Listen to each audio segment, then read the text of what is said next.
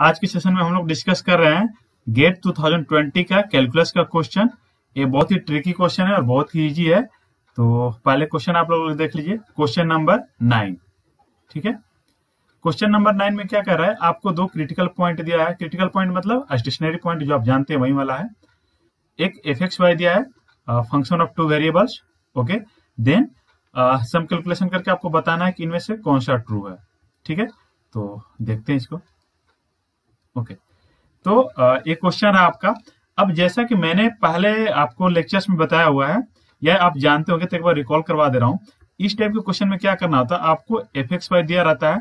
Then आपको F x calculate करना होता है एफ़ वाई कैलकुलेट करना होता है इक्वल टू ज़ीरो पुट करके सोल्व करना होता है। यहाँ से कुछ पॉइंट्स निकलेंगे, जिनको हम लोग स्टेशनरी पॉइंट बोल रहे थे। ठीक है, या फिर क्रिटिकल पॉइंट ये एक पॉइंट भी हो सकता है, एक से ज़्यादा पॉइंट भी हो सकता है। ओके ठीक है। ए पॉइंट निकलने के बाद फर्दर आपको क्या कैलकुलेट करना है? F X X F Y Y and F X Y calculate करना है। ए कैलकुलेट करने के बाद इन तीनों का वैल्यू एट इस जो एक क्रिटिकल पॉइंट है, इस पॉइंट पे, मान लो इसको एक्स नॉट वाई नॉट एक पॉइंट है तो एक पॉइंट पे, या फिर एक से ज़्यादा पॉइंट है तो एक से ज़्यादा पॉइंट पे आपको इन सारे वैल्यू को कैलकुलेट करना होगा।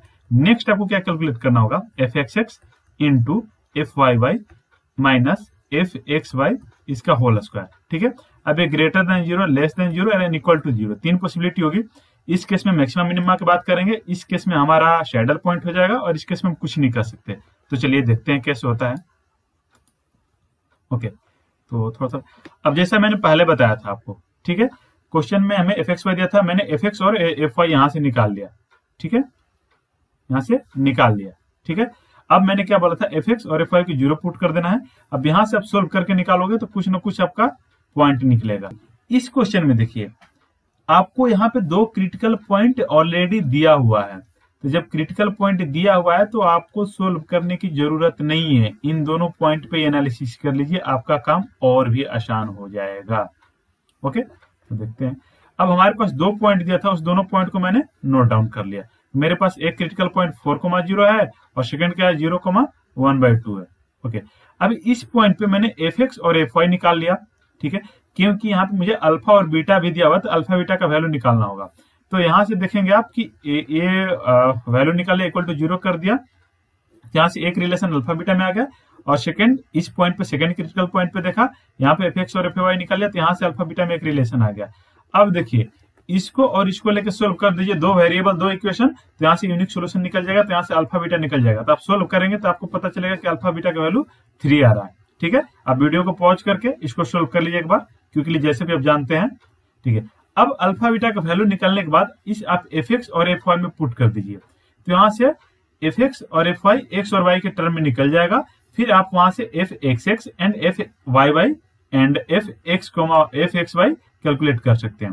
यहाँ से मैंने कैलकुलेट कर लिया, आप देख सकते हैं। एफ़ एक्स इक्वल टू इतना आ गया अल्फ़ा बीटा का वैल्यू रखने के बाद उसी तरह एफ़ वाई इतना आ गया अल्फ़ा बीटा का वैल्यू रखने के बाद। अब फर्दर मैंने क्या किया पार्शियल डेरिवेटिव एफ़ एक्स का एक्स के रिस्पेक्ट में किया और एफ़ वाई का वाई के रिस्पेक्ट में किया, ठीक है? एंड एफ़ एक्स वाई मैंने जैसे तीनों टर्म आपको बताया था डेरिवेशन में मोर डिटेल्स के लिए आप मेरा कैलकुलस वाला लेक्चर देख सकते हैं, जिसमें हमने ये सब डिस्कस किया हुआ है। ओके और थोड़ा देर पहले मैंने जो बताया था, वो ये तीनों कंडीशन था, ठीक है? अब एक ग्रेटर देन ज़ीरो होगा तो मैंने बोला था मैक्सिमम मिनिमम की बात करेंगे तो इसमें क्या कंडीशन होता है? अगर एक ग्रेटर देन ज़ीरो हो गया तो आपको एफ़ एक्स एक्स पे देखना होता है। अगर एक ग्रेटर देन ज़ीरो तो minima A less than zero तो मैक्सिमा ओके एंड अगर यहाँ से हम देखते हैं इसको। नेक्स्ट मैंने बताया था कि अगर लेस देन हो गया तो सैडल पॉइंट हो जाएगा। अब इस केस में क्या करना है? आपको पॉइंट रख के सोल्व कर देना है, और जो आएगा उसके बेस पे आंसर बता देना है। तो यहाँ पे मैंने ये चीज़ नोट डाउन कर लिया। अब आपके ऑप्शन में देखिए। हमने प्रीवियसली सोल्व किया तो यहाँ पे अल्फ़ा बीटा थ्री थ्री आया था। ठीक है, यहाँ से आपको अल्फ़ा बीटा थ्री थ्री आया था। तो आप ऑप्शन थर्ड देखिए।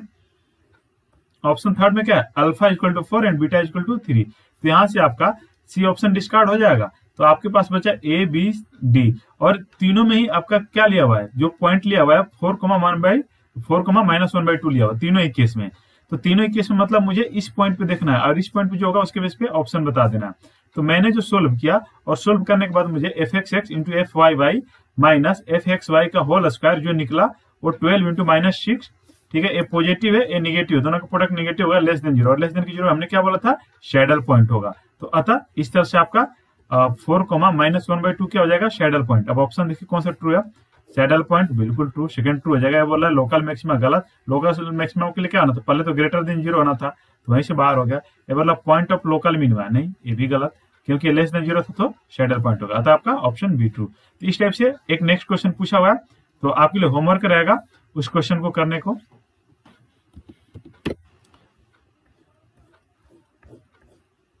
अगर आप क्वेश्चन समझ गए, पिछला मेथड वो था 2020 गेट का क्वेश्चन ठीक है? ये देखिए 2019 गेट का क्वेश्चन ठीक है? तो आपको वो क्वेश्चन अगर समझ में आ गया तो इस क्वेश्चन को होमवर्क नोट डाउन कर लीजिए। इसका आंसर भी यहाँ पे मार्क किया हुआ कि सी ऑप्शन है तो आपको सोल्व करके देखना है कि सी आ रहा है कि नहीं आ रहा है। ठीक है? Thank you